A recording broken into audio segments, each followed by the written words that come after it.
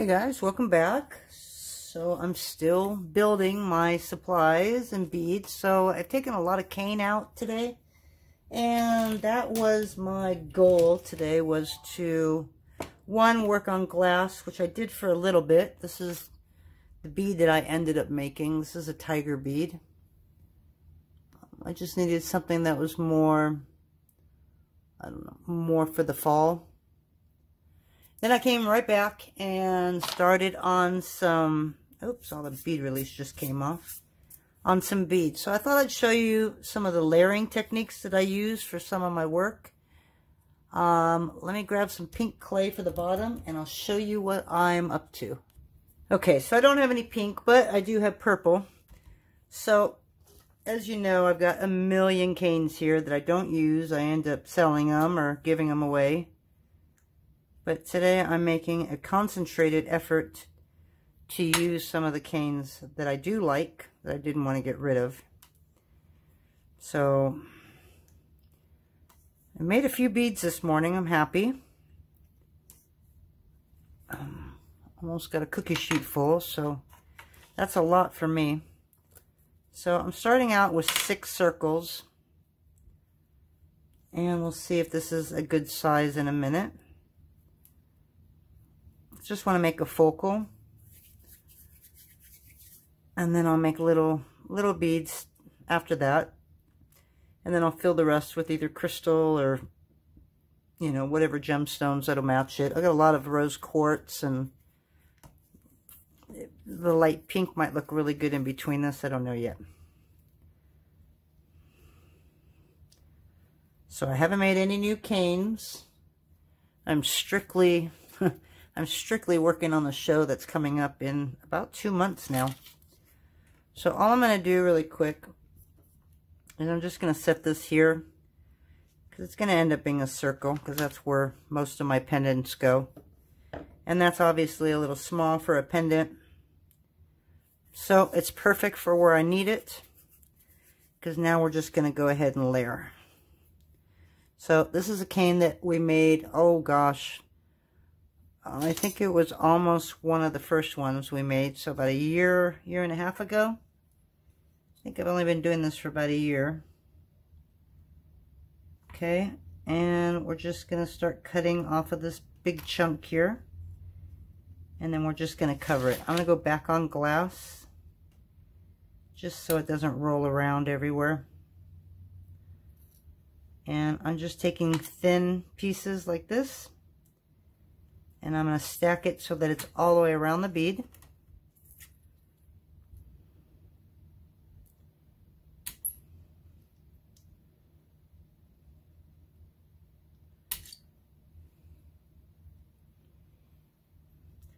And if they're not whole pieces, that's okay.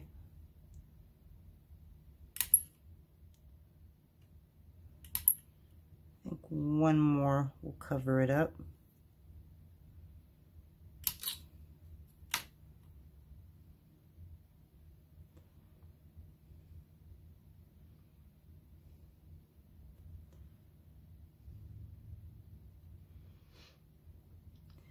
And this is where your scrap clay comes in handy because you can use it underneath. The one thing with translucent though, you've got to make sure you've got a good color underneath because you're cutting these so thin that they will show through. So I try and do a coordinating color or the exact color if I can. Okay, so I got a little spot right here. I'm just going to set that right there. Okay, so we're pretty much covered. And then we're just going to roll it.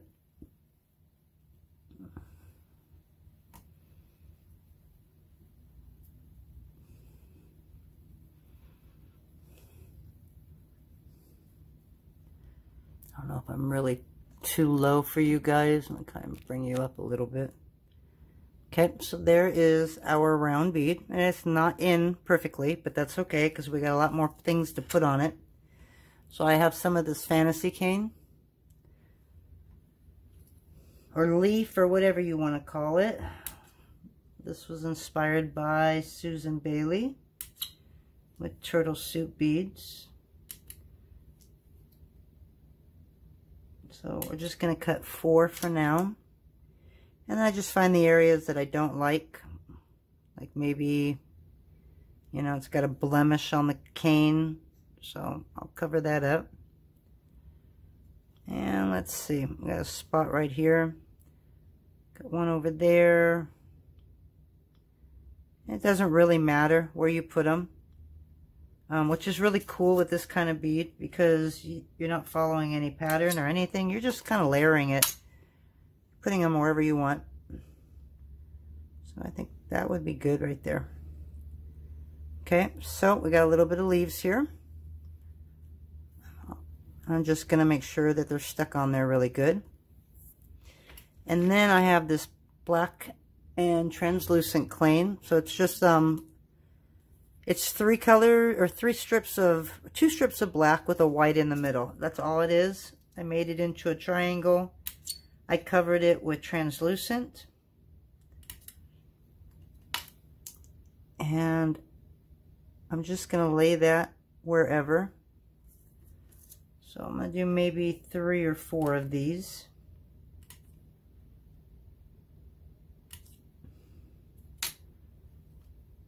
So where did I put that other one? Over there. So let's put one right there. How about one right there? Oop. And I don't know if I need any more. Nope, we're just going to use three. And again, I'm going to roll it. And then I have it's like a chrysanthemum. Ugh, chrysanthemum? Blah, blah, I can't even say it. My mouth is so dry. It's a flower cane. It's a ghost cane.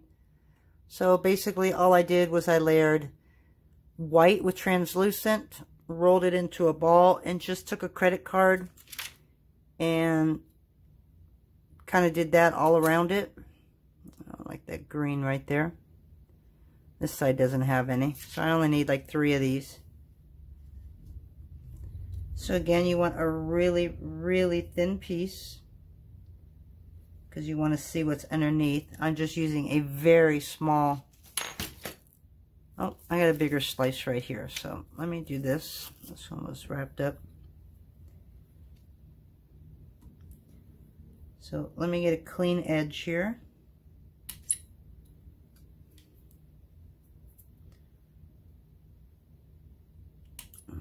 There's one.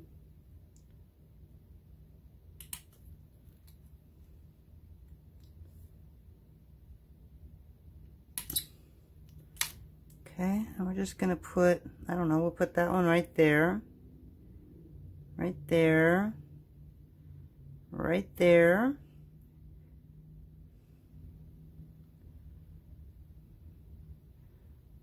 And I think we're spaced out okay.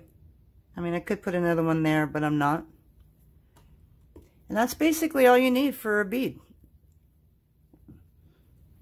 So it's easy. You don't have to worry about where you're putting it, which that's a hard part for me because I'm really horrible in composition.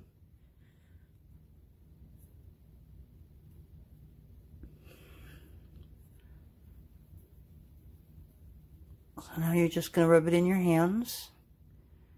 So you get a nice little round shape and you want to make sure that you don't get these little lines in between the cane and your base because that just means that they're not they're not in there good enough. See, this doesn't have anything, you know, they're all melded in there. So you just got to work at it a little bit. So I'll do both. I'll do it in my hands. I'll do it on a table. My hands are a little sticky because I've been doing this for a couple hours now.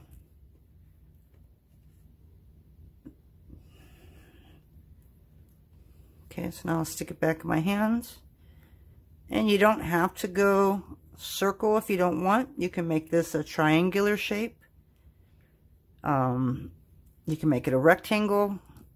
You can make it look like a nugget. I mean, you can do whatever you want with these. I think I'm going to do one more. And I think I got it. So when you roll it in your hand, you're going back and forth. And that'll keep the round shape. Okay, so there we go. And then you basically just find a spot that you like. Um, I'd like to have all three. So like a leaf, a flower, and some of that pink. So that's probably my biggest thing is where to put them.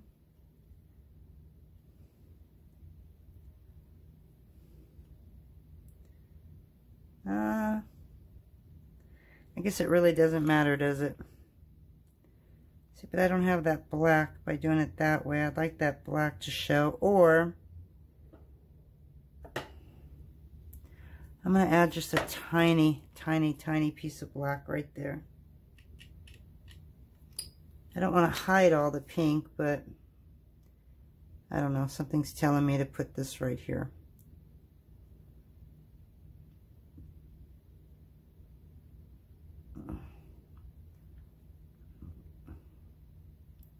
Oh well, it is what it is. I put it where I put it. No second guessing it. If I pulled it off, I would have ruined it. So now we're just going to roll it one more time.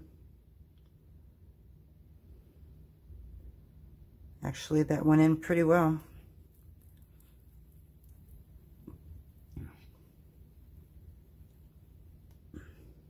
Okay, so now thinking I like I either like this part right here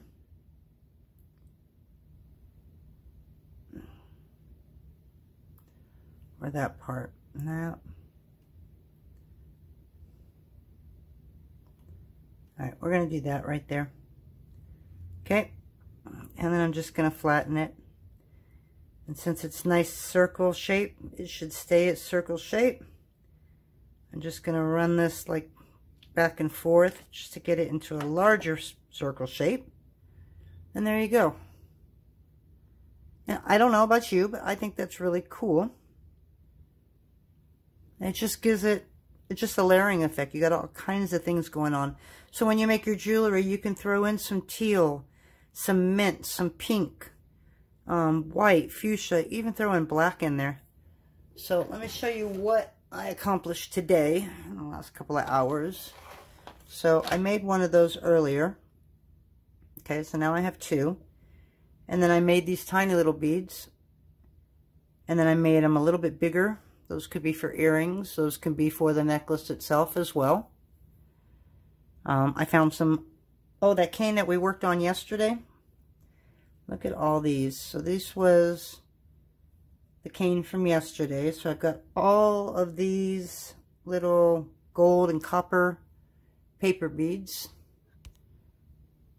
And they're going to turn out really good when I finally get, get them all sanded and everything. I made a few round ones of those.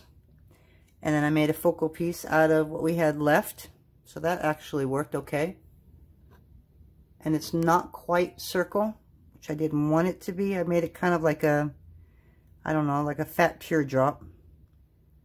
So a little more organic. This was something that I just found a little cane, so I just made a cabochon with that and a few like nugget style beads.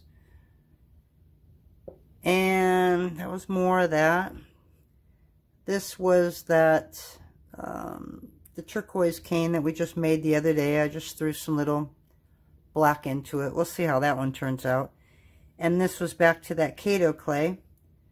So I made more paper beads and then I made some round ones.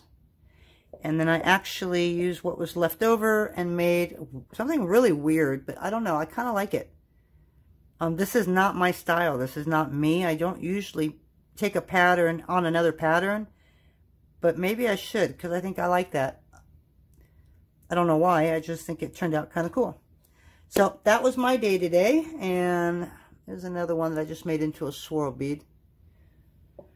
And I'm going to keep going until I fill this whole cookie sheet. That's my chore for tonight. And I'm going to try and get another tumbler full by the end of the weekend. And then that's it, I think. I think that's probably all we're going to need. So I hope you like those. Here's all three of them. So kind of fun, huh? So just wanted to share with you guys. Short video. And now whatever canes you've got, go ahead and try layering them like that and see what you come up with. Show me as well. I'd love to see it. So you guys have a great day, and we'll talk to you later. Bye.